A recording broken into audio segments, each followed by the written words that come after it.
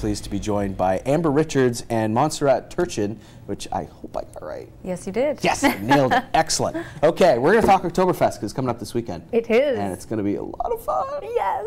Gonna, we're very excited. Yes. Very excited to tell the people what exactly is it, what can people expect. There are still tickets available. There are, yes. The um, Atlantic Canadian Craft Brew Oktoberfest. It's the only festival in New Brunswick that is exclusively Atlantic Canadian craft products. So craft beer, cider, mead, and food, all included in the ticket price, unlimited samples, and you even get to take home your glass.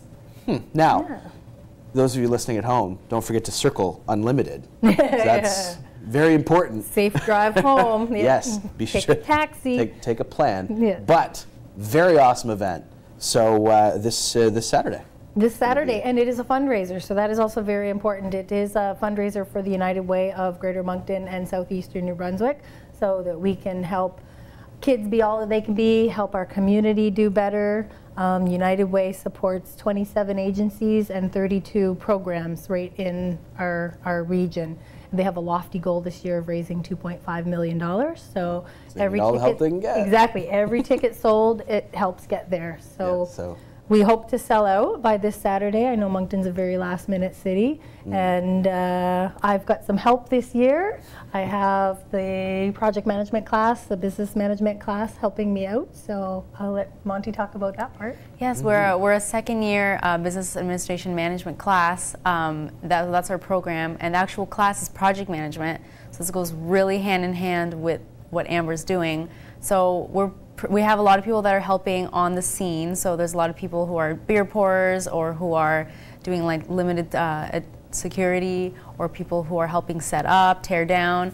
And there's, lot, there's a few people who are doing things before, like the social media. There's um, a big PowerPoint that's going to be going on with music, photo booths too.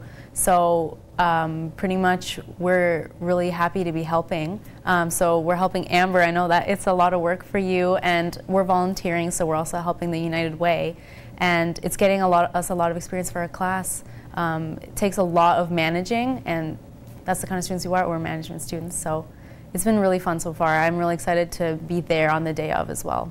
Yeah, we'll definitely get, get right back to the, the NBCC connection to that in just a sec, but uh, coming up this weekend, of course. Uh, what, uh, what's left? Because it must be just hectic. It is, yes. My emails and phone have been going crazy all day, yesterday, this whole week. It's just been, I don't even know what day it is anymore. How many more days do I have left until? Uh. Yeah.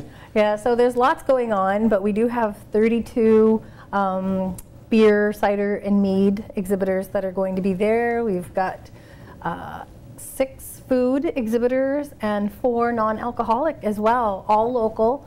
And um, so we, we do have a designated driver ticket available. So there's Daydrift Craft Soda, Buddha Bear Coffee, Party Ice Water, and uh, Belleville Orchard Sparkling Apple Cider for those people who don't drink alcohol. Mm -hmm. So we didn't want to forget the craft as well, the whole Atlantic Canadian craft. And um, yeah, so we've got exhibitors from all over the Maritimes, New Brunswick, Nova Scotia, and PEI. So it'll be one spot where you can get up close and personal with the brewers and the owners that make the products that you're going to taste. Wow, that's impressive. It's like you thought of everything. I did. yeah, actually, I really did because I go to a lot of these festivals and I wanted to create a festival to give back to my community, mm -hmm. but be mm-hmm. the exact festival that I wanted to go to. Mm -hmm. But now I manage it, and so it's kind of not very. It's bittersweet. Good. Yeah. Yeah. It's kind of like this is the festival I want to go to, but I have to run it. Yeah, exactly. All right, so so Monty, the NBCC connection. Uh, this is not you know, for, for second year business students, this is not a case study. This is not a, you know, this is not a simulation. This is a real thing. You know, so how does it feel to, to know not only that, you know, for class credit, you're doing events like these? It's crazy. Like, um, we really are applying our knowledge, and I don't think that a lot of college and university classes have that opportunity. Mm -hmm. um, it's just really through connections. Like Wendy knows our teacher, and our NBCC is actually pretty renowned for um, kind of com uh, communicating and uh, taking part in these kind of events. So it's, it's great. We're really applying what we're learning in the class and we're having fun while doing it. And this isn't, uh, you know, not to not to derail this for a second, but we'll go off track just a little bit. This isn't the only thing that uh, NBCC business students do as projects in their second year. So just give uh, give the folks at home a little taste of what else, you know, the MB business students take part in. Definitely. Well, we do have one day of the year. Actually, first year students do have to do it. Uh, a requirement to graduate. Uh, it's basically you have to participate and volunteer in something that gives back to your community. And the fact that that's a requirement to graduate, it just shows how important our school thinks of that. And more recent in this year that I'm taking right now, the same class, we actually, the next step after this little project is we have to manage and create our own events. Not really create, they're already, the theme is already there, but we're going to be creating the actual opportunities and the events within the theme. So there's a few, like we're doing a few for Movember, um, the Moncton Magic, the uh, Princess and the Purse, just to name a few. Um, and Dining in the Dark, which is a, a very new one, actually a student idea. So that's exciting. But so it's, it's not the end for here, that's for sure. so they always keep busy. Yes. Always got to keep busy. And Amber, you're keeping busy too, because not only do you have Oktoberfest this weekend, but the Celtic Knot stuff that's coming up next month. Celtic Knot, yes. Celtic Knot. yes. We'll, we'll get that right. I've been pronouncing things wrong all show. we'll get it right eventually. But uh, you Celtic must be a Knot. basketball fan. I, I try. But yes, t- tell us all about that coming up next month. Yes, so uh, Bruce Barton is the owner of Celtic Knot Brewing, and he was brewing only for licensees um, for his first few years. And he just expanded, much bigger system, moved to a new location at 23 Biggs Drive in Riverview. And so I'm very lucky and honored, oops, I put my hand on my microphone, honored to actually be able to coordinate his grand opening event. So it is a VIP uh, invitation only, but if you want to sneak your own invitation in there, just go subscribe on my website, ambereffect.com slash events. And if you subscribe, um, I'll get you an invitation. Space is very limited. It's a very small brewery. But um, Bruce is making some great beer, and I'm excited to help him get the word out there that you can go get growlers filled now, so you can take beer home.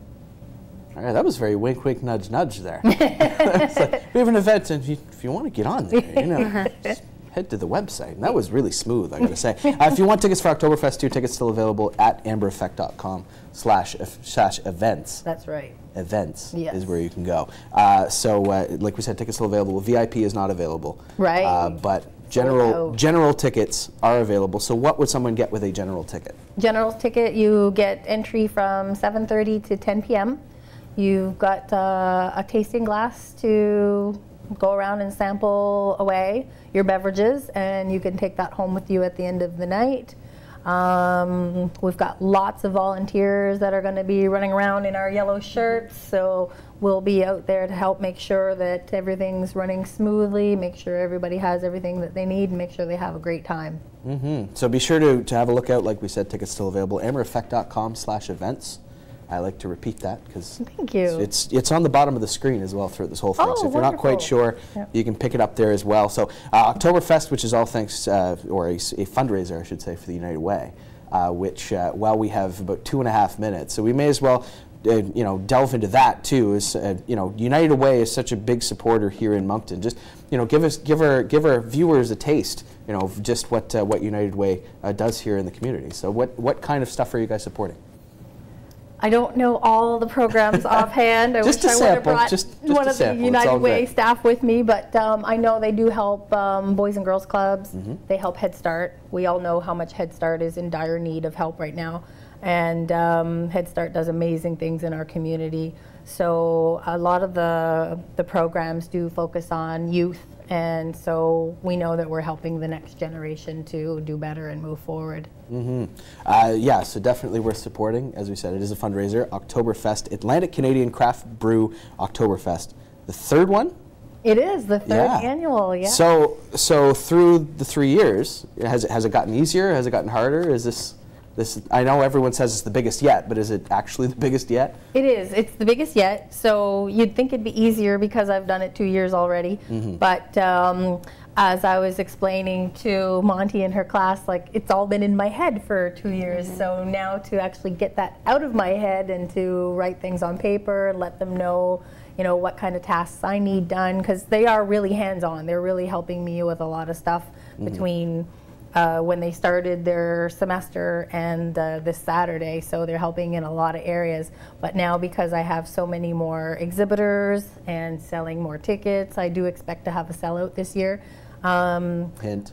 ambereffect.com slash events. Yeah. so I think that uh, with the bigger event, more work. Um, I'm doing a little bit more, doing a little different things. Oh, we have a raffle that we just put together this week after trying for a, quite a while. But um, we are raffling off a beer cooler, and there will be beer in it too. There's beer in the beer cooler. That's ingenious. Yes. That is amazing. Yes. And you can enter in the raffle if you're there, but you got to get your tickets. That's right. yeah. Oktoberfest this weekend. The draw will be December 8th for the raffle. So if you're not at the event, you can buy tickets after the event. Um, and the, the draw will be, of course, right before Christmas. All right, so keep that in mind. Amber, Monty, thank you so much for joining us. Uh, Oktoberfest coming up this Saturday. Uh, you can get your tickets now, ambereffect.com slash events.